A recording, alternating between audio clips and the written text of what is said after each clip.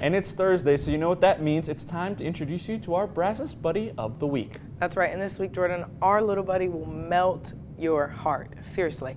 Check out Bobcat, a two month old kitten from the Aggieland Humane Society. Oh my goodness. Bobcat is a domestic short hair mix that's a bit timid when meeting new faces for the first time, but with a proper introduction, can warm up to just about anyone. And like all pets that appear on Brazos Buddies, Bobcat is neutered, microchipped, and up to date on all those shots.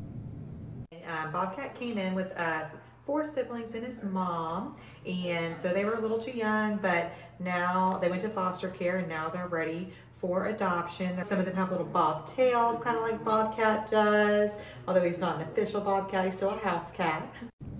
Too cute. And if you'd like to adopt Bobcat or any of his adorable siblings, just head over to Aggieland Humane Society in Bryan.